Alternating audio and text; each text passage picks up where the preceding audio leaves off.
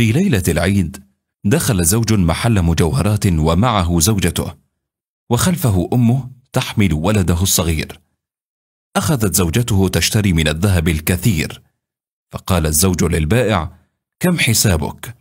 قال البائع عشرون ألف ومئة ريال فنظر الزوج إلى الميزان والثمن فوجده عشرون ألفا فقط فسأل البائع ومن أين جاءت المئة؟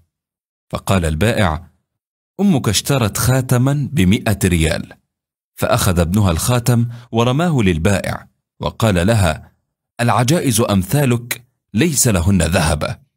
بكت الأم عندما سمعت هذا الكلام وذهبت إلى السيارة فقالت له زوجته ماذا فعلت؟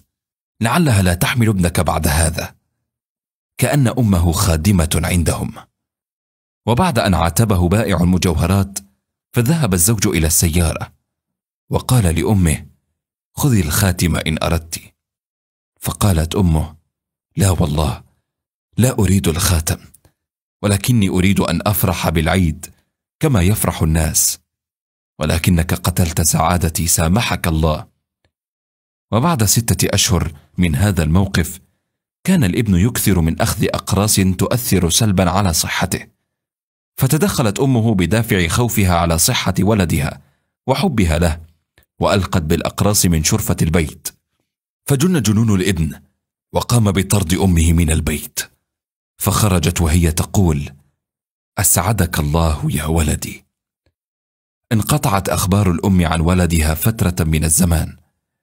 أصيب خلالها الابن بمرض دخل على إثره المستشفى. وعندما خرج انتكس وساءت حالته النفسية. وفقد الوظيفة والبيت. وتراكمت عليه الديون. وما أصابكم من مصيبة فبما كسبت أيديكم ويعفو عن كثير. وفي أحد الأيام كان يشاهد التلفاز فاستمع إلى أحد الشيوخ يتحدث عن بر الوالدين وصلة الرحم وأن هذا البر يأتي بالرزق الوفير. ويخرج الإنسان من همه ويفرج كربه.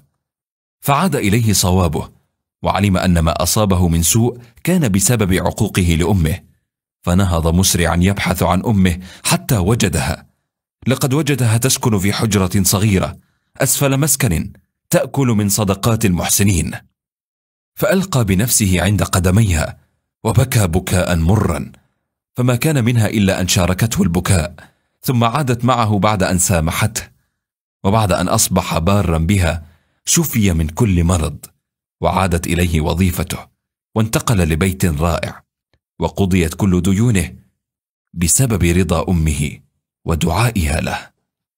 وقضى ربك ألا تعبدوا إلا إياه وبالوالدين إحسانا.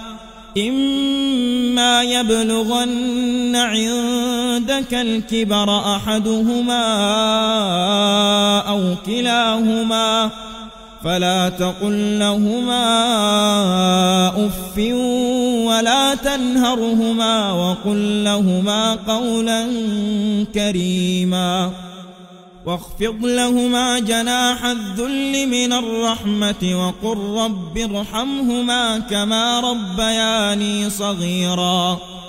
ربكم أعلم بما في نفوسكم. إن تكونوا صالحين فإنه كان للأوابين غفوراً.